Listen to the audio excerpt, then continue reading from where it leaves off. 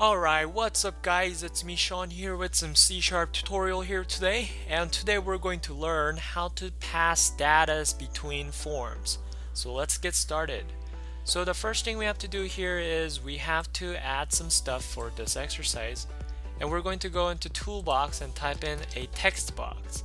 So we're going to add a text box and there's our text box here and we also want to add a button. Okay? So basically what I'm trying to do here is, uh, let me run this real quick. So basically what I'm trying to do here is if user type in something in form 1, this is form 1, and when they click button 1 here, I want to open up a form 2 with the text they typed into our text box. Okay? So we're basically sending this text into the other form right? So because we need a new form, we're going to go into our Solutions Explorer and right click on your project, add new item. And if you do, go ahead and click Windows Form and hit add here, okay? And once you do, you will get a two different forms. And in our form 2, we're going to need a tool called label, okay? So we're going to click label and then just put label onto your screen. So now let's get to coding part. So let's go back to our form1.cs. So we're going to double click the button one. So double click them. Then what it will do is it will generate a method. So inside of this method, I'm going to call a form2 and at the same time I want to pass in the data to form2. So let's create a object called form2. Form2, let's name it something like f2 equals new form2 and semicolon. So notice this is the same exact thing as what we learned in the previous video. However, but this time we're going to add something inside of this parentheses to send it to form 2.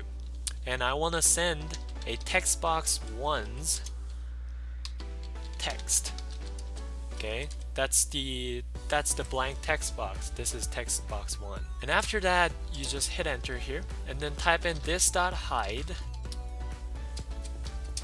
and we're going to show it. F.show f2.show dialog okay? So what it will do is it will open up a form 2 but I want to send that text as well into a form 2 but notice there's a red underline under the form 2 right?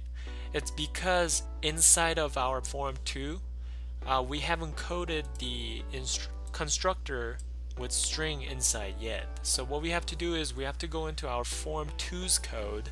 So let's go to your Solutions Explorer and right click on your form 2 and view code. So here, notice our constructor doesn't take any parameters. However, we're trying to send something into our parameter. So what we're going to do is we're going to say that you're going to receive a string called s. That's, so that's what I'm doing here. So basically I'm sending this text into that string s. So now I can do something like this in here.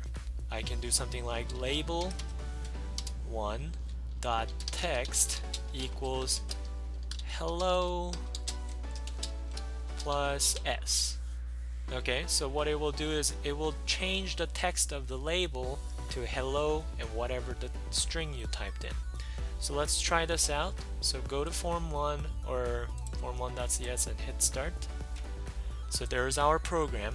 So if I type in something like Shawn Koon and then hit button 1, it will open up a form 2 with hello Shawn Koon inside. So yeah, that's it for how to pass in data between forms and forms. Uh, if you guys have any other questions, please leave questions on the comment below and subscribe more and more tutorials. Thanks.